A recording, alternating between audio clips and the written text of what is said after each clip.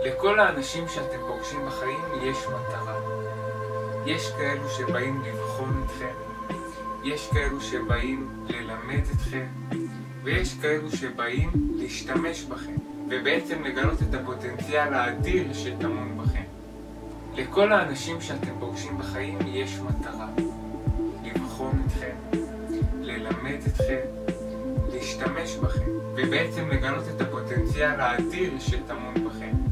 יש מטרה. לבחון, ללמד, להשתמש, לגלות את הפוטנציאל האדיר שטמון בכם.